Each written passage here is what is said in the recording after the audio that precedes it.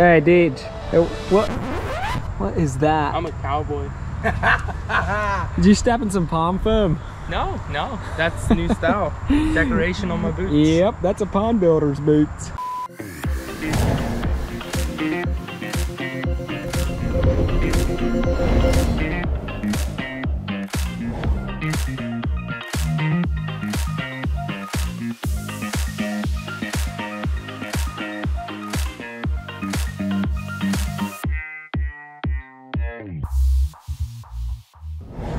It's lunchtime and we're making progress. This thing's completed.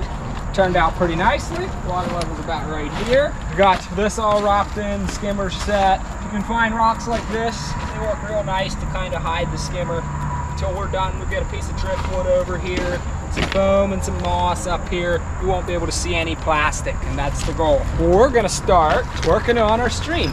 It's gonna go up in there towards the excavator. Visibility from that kitchen window, from this patio, and from a patio over that direction.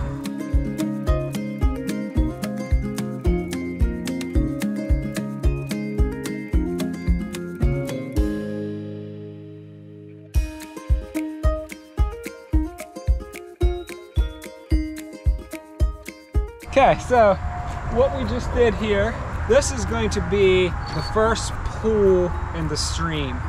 And I, to decide how deep I find my spillway rock, which is basically, it's underneath all this liner, but that spillway rock is going to determine the water height. So I set my laser on there and I just, if I do want to do a six, eight, 10 inch deep pool, then that's how deep I make it. I set it off the spillway rock. In this case, I wanted a big deep pool, so I made it 10 inches deep. So I set my laser on here, went down 10 inches, boom. So I'm gonna have a 10 inch deep pool. And this shelf, it's important to either have it deeper than the spillway or at the very least level with the spillway because if you have it at all higher, it's not gonna build a pool. It's just gonna run straight down over the liner over your spillway rock, but I want it to fill up and make a deep pool, so I made it 10 inches below the spill, the height of the spillway rock. So that way it fills up 10 inches of water before it spills out over. I don't know if that makes any sense. The next thing I do, I make sure that I excavate this area huge. I might place my next framing boulders for the waterfall here, and then the pool is actually only gonna be this big, but I want to make sure when I flip back that I have the room to set my rocks where I want. If I excavate big and flat, I know it's not going to go this big. I'm not going to be setting my framing boulders back against here. It's probably going to be front here, but that allows me the freedom to go where I want when I set my rocks. Then once I have them all set and I like it, I flip front the liner and I fill my berm in up against the rocks. That's the easiest way to do it. It gives you the freedom to set the rocks where you need to put them. So let's get ready to build the stream. I put in my rock pad and my liner now, and this is the area that I had excavated. So here you can see my spillway rocks. These determine the water height of the pool that I have in my stream. So if you want to put a six inch deep pool, you come down six inches. Want to do a 10 inch deep pool, come down 10 inch pool. So I wanted a deep one, so I came down to that level. And that's very important because I think it looks naturalistic if it comes off of a waterfall, builds up into a pool, and then spills over into the next one. If you get these nice and deep, then you can avoid the look of water running through gravel from one. If, if the liner height here was at this height and went slightly uphill, then water would spill off the spillway rock, the next spillway rock, and run down over the gravel and fall over this one without ever pooling up. So that's why we excavate this so deep. And another, this is a prime example of me not excavating big enough. Say I want to place a boulder that nestles up right into here for the berm of the pool, except I can't because I have dirt there. I should have dug way out here, set my rock here, flip front my liner, and filled the dirt in again. That's how I'm going to do all around here. So these framing boulders I'm probably going to be placing right here, but I have the freedom to move all the way back here if I want. This stupid wall of dirt is not going to get in my way, so maybe you can picture that a little bit better. Let's build waterfalls. Okay, after working all day in the pond, we're finally doing some fun things. We typically come out here with a rock pal with our excavator and we pretend and put things together and push rocks around with our excavator until we have something we like.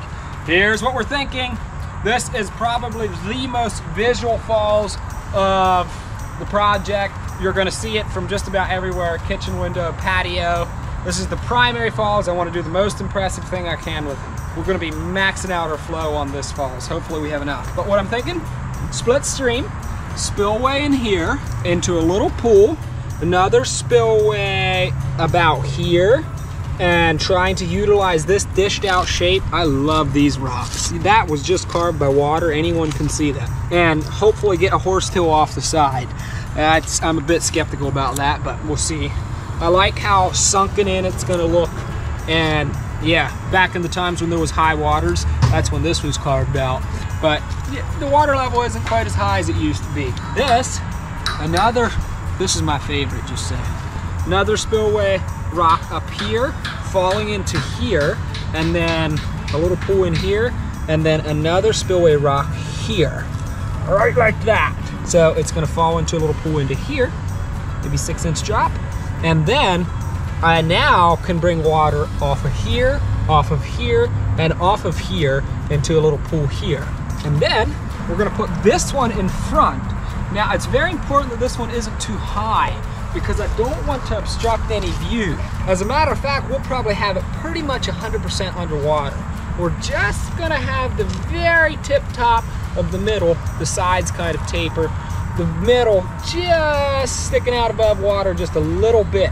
And then we're gonna foam the bottom of this rock to divert the water. So there's not gonna be a falls, say water level's about here. There's not gonna be a falls that's just gonna divert the water around this rock. So the little bubbles and that turbulence of the falls is gonna shoot out the side here and out over there. We're ready to strap them in and start getting them in nice and level. They're sitting kind of crooked right here.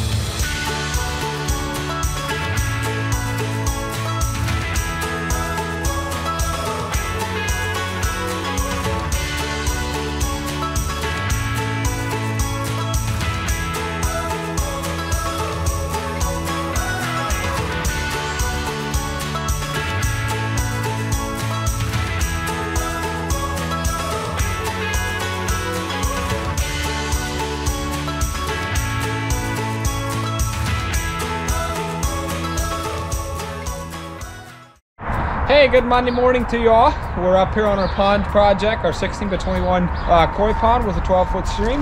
And um, the pond is rocked in. We rinsed it and we're starting to clean it right over there.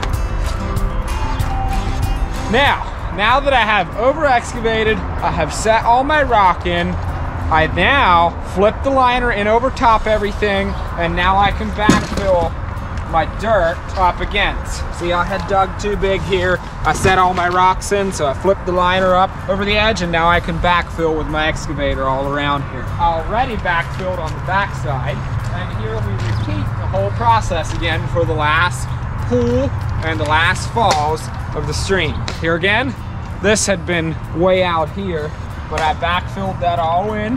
Here's my spillway rock. So I'm gonna have about a five or a six inch pool here because that determines water height. Down there we had a 10 inch pool. Up here we're gonna, just gonna have a six inch one. And here again, I dug way too big. I'm gonna flip back my liner, I'm gonna set my rocks, and when I'm done, I'm gonna flip it all in and backfill back again. All right, so let's fold out our liner here, and get ready for the next rocks. All right, our rock pad underlayment is in. Now we're ready to bring back the liner.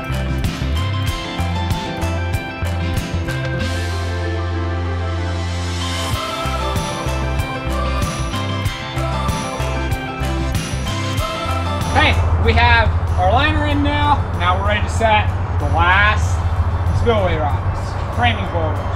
Thinking one pointed this way, one towards that window. So two of them coming in like this. All right, let's go pick them out, DJ.